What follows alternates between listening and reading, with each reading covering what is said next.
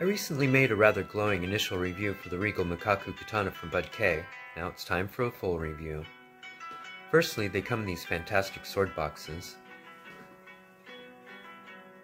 Here are the stats. The taper is listed as 7 to 5 millimeters, the point of balance a whopping 7 inches, and we'll come back to those. It's solidly constructed with antique fittings. We have macaque monkeys here on blossoming plum trees for good luck and protection from evil.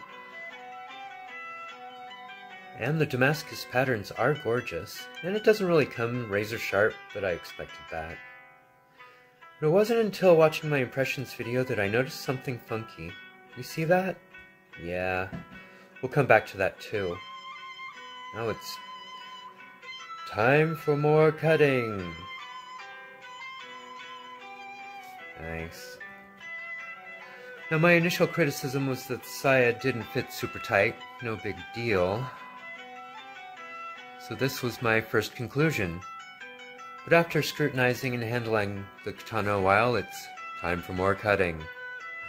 I really should buy more tatami mats. Okay, not bad. Let's take another look at that. Boom.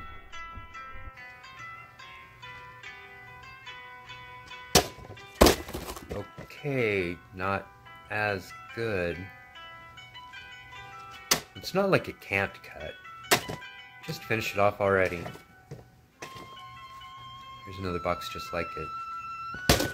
And it came apart, collapsing on itself. There we go.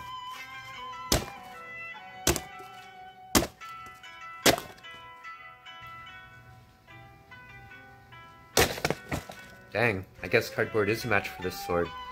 But here's what I came to talk about. The blade flares at the tip. Remember the taper was listed from 7 to 5 millimeters, and the 7 inch point of balance? Yeah. This makes it feel like a steel bar in the hand, wearing out my wrist really quickly. But let's compare it to a sharpened 15th century arming sword.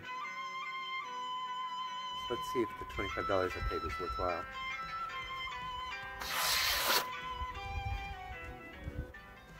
Holy Jesus. Yeah, that goes through pretty well.